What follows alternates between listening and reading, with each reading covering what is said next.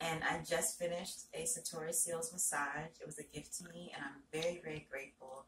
I had a lot of tension in the back of my neck, a lot of tension around my hips, and definitely in my hamstrings. And this experience was therapy for my body. It wasn't just about getting into a deep stretch or, um, you know, the sensuality, but actually healing and restoring a lot of pressure points throughout my body. Satori touched part of my back and I screamed in relief, pleasure, and agony. Same time. but I've been carrying so much stress, you know, and in my back and in my chest and around my breast, and so it's been so nice to experience this and feel the kind of elation and euphoria that comes after this massage. So I'm very, very, very grateful. Highly, highly recommended.